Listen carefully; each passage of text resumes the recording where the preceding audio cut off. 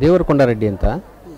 ಹಂಪಿ ಕನ್ನಡ ವಿಶ್ವವಿದ್ಯಾಲಯದ ನಿವೃತ್ತ ಪ್ರಾಧ್ಯಾಪಕ ಶಾಸನಶಾಸ್ತ್ರ ವಿಭಾಗದಲ್ಲಿ ಪ್ರಾಧ್ಯಾಪಕನ ಕೆಲಸ ಮಾಡಿದ್ದೀನಿ. ಈಗ ವಸ್ತು ಪ್ರದರ್ಶನದ ಮೂಲ ಉದ್ದೇಶ ಸಾಮಾನ್ಯವಾಗಿ ನಮ್ಮ ಈಗಿಂದಿನ ಪೀಳಿಗೆಗೆ ಹಿಂದಿನ ಒಂದು ಇತಿಹಾಸವನ್ನು ಪುನಃ ರಚಿಸಿಕೊಡ್ತಕ್ಕಂಥದ್ದು. ಮತ್ತು ಈಗಾಗಲೇ ಕಳೆದೋಗಿರ್ತಕ್ಕಂಥ ಒಂದು ಇತಿಹಾಸವನ್ನು ರಚಿಸ ರ- ಪುನಃ ರಚಿಸಿಕೊಡೋದ್ರ ಜೊತೆಗೆ ಈ ಅಳದುಳಿದ ಒಂದು ಮಾನ್ಯುಮೆಂಟ್ಸ್ ಬಗ್ಗೆ ಅವರಿಗೆ ಆಸಕ್ತಿ ಮೂಡಿಸ್ತಕ್ಕಂಥ ಒಂದು ಕರ ಪ್ರ ಪ್ರಯತ್ನವನ್ನು ಮಾಡ್ತಕ್ಕಂಥದ್ದು.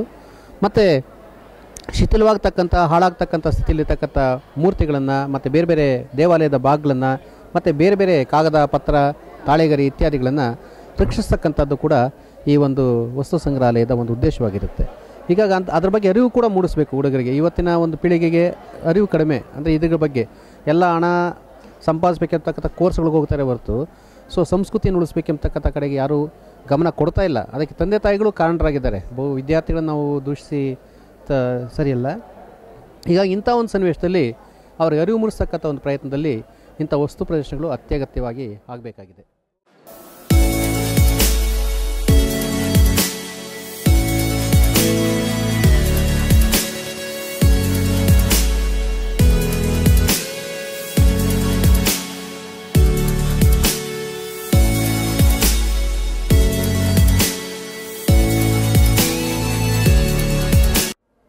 ನನ್ನ ಹೆಸರು ಹೇಮಾವತಿ ಅಂತ ಇತಿಹಾಸ ವಿಭಾಗದಲ್ಲಿ ನಾನು ಉಪನ್ಯಾಸಕ್ಕೆ ಆಗಿ ಕಳೆದ ಆರು ವರ್ಷಗಳಿಂದ ಈ ಸಂಸ್ಥೆಯಲ್ಲಿ ಕೆಲಸ ಮಾಡ್ತಾ ಇದ್ದೇನೆ.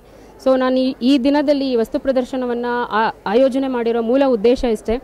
ಇತ್- ಇತ್ತೀಚಿನ ದಿನಗಳಲ್ಲಿ ವಿದ್ಯೆ ಅನ್ನೋದು ವ್ಯಾವಹಾರಿಕ ಆಯ್ಕೆಗಳಿಗೆ ಹೆಚ್ಚು ಸೀಮಿತ ಆಗಿದೆ. ಇತಿಹಾಸವನ್ನು ಎಲ್ಲೋ ಸ್ವಲ್ಪ ಮಟ್ಟಿಗೆ ಮರಿತಾ ಇದ್ದಾರೆ ಯುವ ಜನತೆ ಅನ್ನೋದು ನನಗೆ ಅನಿಸಿತ್ತು. ಹಾಗಾಗಿ ಇತಿಹಾಸವನ್ನು ಸ್ವಾತಂತ್ರ್ಯ ಆಚರಣೆ ಮಾಡೋ ಸಂದರ್ಭದಲ್ಲಿ ಮಾತ್ರ ನಮ್ಮ ಇತಿಹಾಸ ನಮ್ಗಳಿಗೆ ನೆನಪಾಗುತ್ತಷ್ಟೇ. ಬಟ್ ಆ ರೀತಿ ಆಗಬಾರ್ದು, ಇತಿಹಾಸವನ್ನು ಪ್ರತಿದಿನ ಕೂಡ ಮೆಲುಕಾಕುತ್ತಾ, ಅವ್ರಿಗೆ ಇತಿಹಾಸದ ಪರಂಪರೆ, ಸಂಸ್ಕೃತಿ, ಇದರ ಬಗ್ಗೆ ಪ್ರಜ್ಞೆ, ಜ್ಞಾನವನ್ನು ಮೂಡಿಸಿದಾಗ ಖಂಡಿತ ಇಂದಿನ ವಿದ್ಯಾರ್ಥಿಗಳೇ ಮುಂದಿನ ಪ್ರಜೆಗಳು ಅಂತ ಹೇಳ್ತೀವಿ.